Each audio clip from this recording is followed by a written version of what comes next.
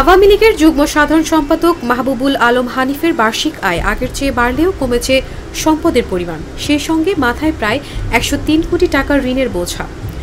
জাতীয় সংসদ নির্বাচনে জেলা রিটার্নিং কার্যালয় ও সহকারী রিটার্নিং কার্যালয়ে মনোনয়নপত্রের সঙ্গে দেওয়া হলফনামা থেকে প্রাপ্ত তথ্য পর্যালোচনা করে দেখা যায়, মাহবুবুল আলম হানিফের গত পাঁচ বছরে বার্ষিক আয় বাড়লেও কমেছে সম্পদের পরিমাণ।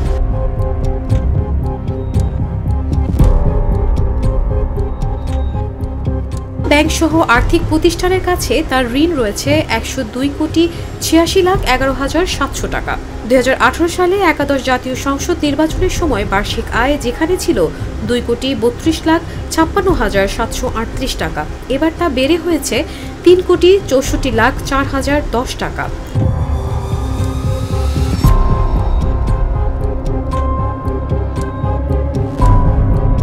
এর আগে একাদশ জাতীয় সংসদ নির্বাচনের হলফনামায় স্থাবর অস্থাবর সম্পদের পরিমাণ দেখানো হয় তেইশ কোটি চুয়ান্ন লাখ ছাপ্পান্ন হাজার সাতশো আটত্রিশ টাকা।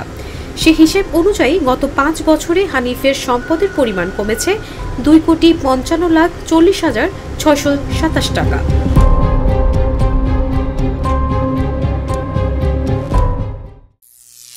করিম চাচা আপনার প্রিয় মানুষদের কখনো বিপদে ফেলতে চাইবেন? না স্যার। তাহলে আমাদের বিপদে রাখা কি ঠিক হচ্ছে?